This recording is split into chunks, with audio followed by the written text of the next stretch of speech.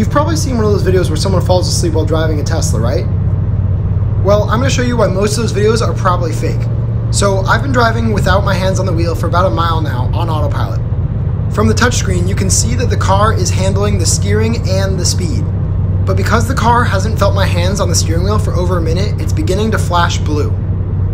Now, if you ignore those warnings, it will begin to flash faster and eventually provide an audible chime to alert you. Now, if those warnings aren't effective, it'll eventually slow the car to a stop.